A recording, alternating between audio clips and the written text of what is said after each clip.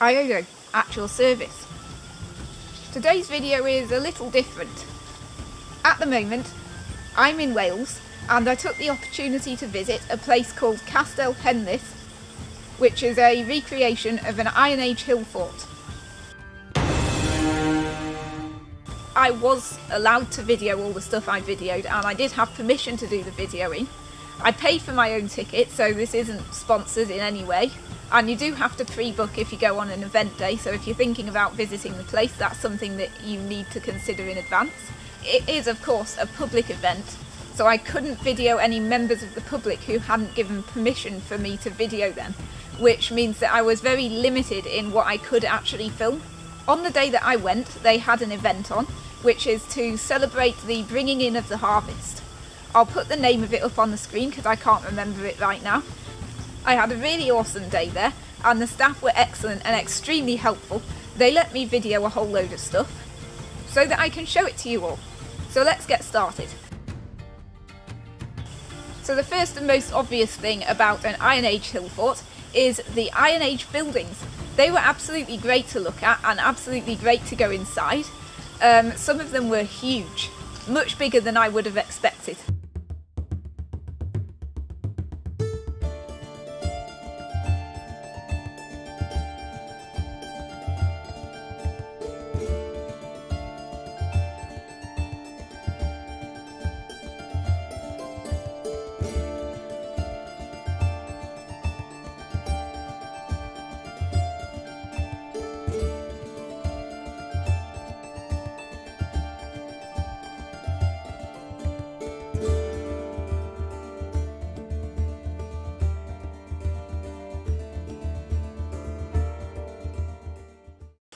As part of the festival day event, they had loads of cool events on that you could go to. So I tried to go to as many of them as I could with the camera, um, but I didn't manage to go to all of them. The ones that I didn't manage to go to were face painting. They were doing Celtic face painting, which was quite cool, and I would have liked to have done that, but the queue was enormous, so I didn't wait for it. But as far as I know, they have that on most of the time anyway, so if you go on a non-festival day you should be able to go to that. They also had candle making, which was really quite cool. So I made myself a wax candle. Here's the video. All you're going to do is fold it into the end of the sheet. So you want one end so it's sticking out the other end so it's flush or flat with the very bottom. So only one end should be sticking out. So the idea is you should have one little lip at the bottom. As you can see where I've got this lip, it's just sort of sat in there. And then with the wick closest to you, all you are going to do is roll the wick into the candle. The way I, the reason I say do it closest to you is what I usually do is with my fingers on the bit I'm rolling and my hand to steady it, just roll it away from myself.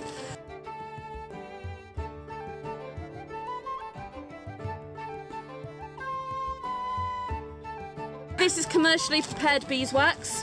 So these are actually foundation sheets for modern hives. Um, they come in pieces, basically the size of about four of these together.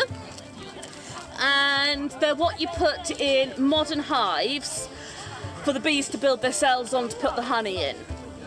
However, once they've been used, obviously you're taking the honey out. The honey is the bit that we really want these days. You've got all this wax left over, so why not either recycle it into new ones of these or melt it down and make candles that you pour into moulds. Either is acceptable. This is a lot easier to do out here though. Um, need an electric hob really to do it the other way. And I will be testing out the candle later to see if it works and I'll make sure I video that or put it at the end of the video or something. I did have a good little chat with their bard. He had lots of cool stuff. So here's the clip of what I filmed about that. Well, this is a carnyx. It is the Celtic war horn par excellence. It is probably the most enigmatic and famous of ancient Celtic instruments. And they would play it in times of war but also in times of peace. So it would be held aloft, like so.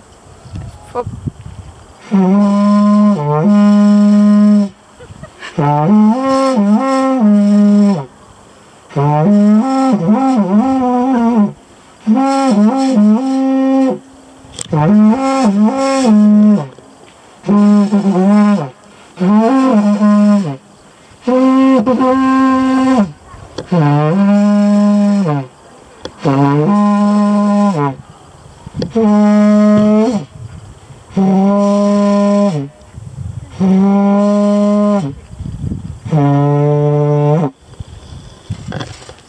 you can imagine warriors in groups of four or five big burly men standing on top of a hill at a time, that's a bit more like what it would be.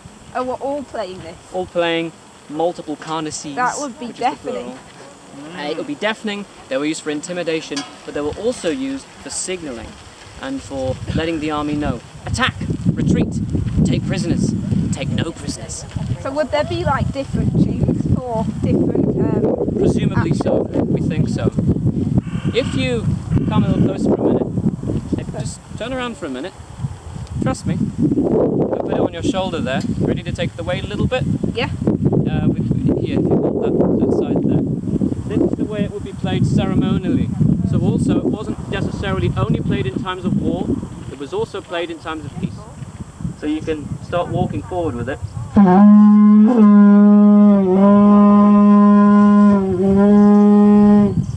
Like that, see?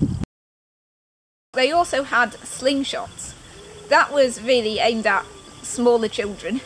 So they were using nice, safe ammo that was made out of flour mixed with water so that it was sort of squishy and it couldn't hurt anyone when they were hit. For the inevitability that slingshots have a habit of throwing things straight upwards or behind you. But I did have a go and it was fun. And the guy who was explaining how to do this was actually really good. There's a loop on these slings, okay? You want to try and copy my hand. This loop is going to sit over one of these fingers. Yeah? yeah, everyone else has got it. Fantastic. This second piece, same hand, I want it to sit over this finger. We're going to pinch it in there, okay? That's about right. This is the bit that's going to come out of the hand. We are going to be flicking this out. And once you've got your grip, from there it's easy. There's one thing you need to do now, and that is to let go. Yeah? You want to let go and hopefully point in the right direction. Okay? So we're going to be going there. It sort of bounces into it. I never do it that way around. Give me some more ammo. Let's do that again. So we want to be pointing at the target. Just like that. You see my arm is pointed right at the guy, and that's what's hit. If, when I let go, I'm pointing behind me, that is where it's going to go. And that is advice as much for you lot as it is for them. Yeah? A lot of these shots don't go where you anticipate them. Yeah? So, you don't need too much of this. It's just adding power. Don't worry about that. All looking, swing and release. That's all we need, yeah? One swing, let go, hopefully at the target, you should be fine. any place like that wouldn't be complete without a gift shop and cafe. So they do have a gift shop and they do have a cafe. The gift shop sells quite a lot of cool things.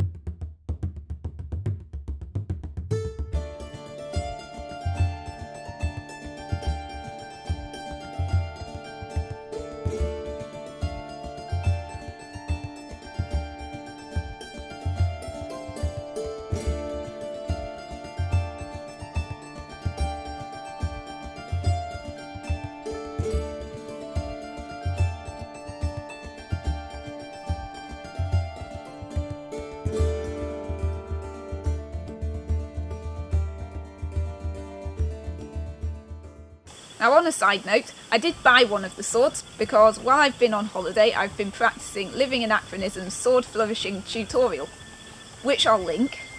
I made this because I didn't bring a sword with me on holiday to practice with, and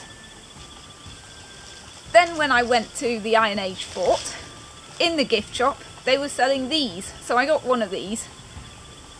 They are exactly the same size. That is actually an amazing coincidence. There will be a video on this at some point in the future. So the final thing is of course, because it's a festival day, they do the show at the end, which has loads of cool stuff to entertain children and the grand finale of the show is that they burn the Wicker Man. I really enjoyed that because it was very well done. But unfortunately I couldn't video all of it because they involve children quite a lot and I can't video members of the public without permission. But the bits of it that I did video, I'll show for you.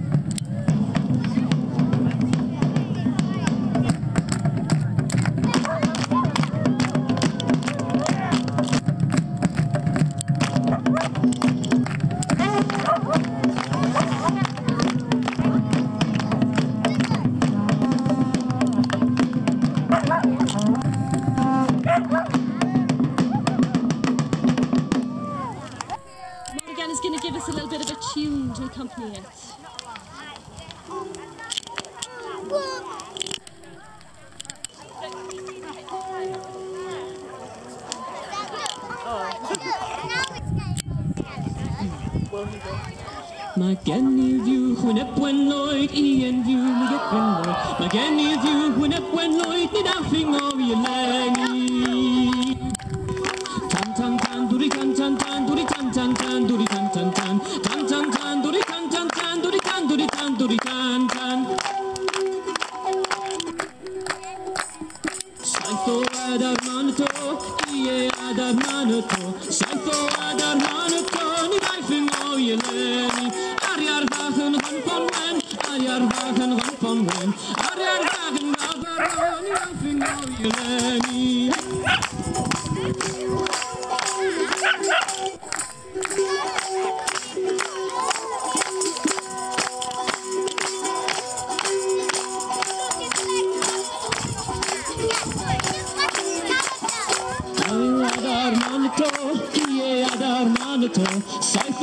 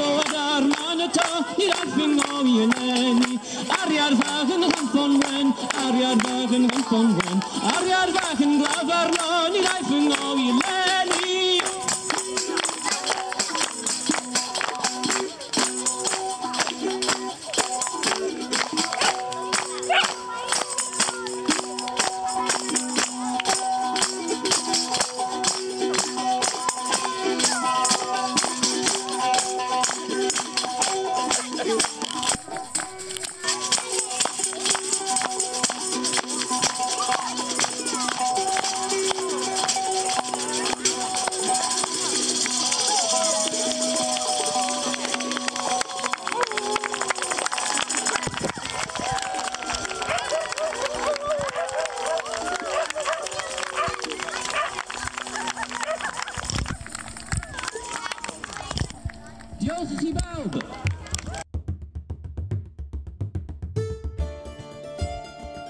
So I hope you enjoyed this, something a bit different. Thank you so much for watching and I will see you in the next video.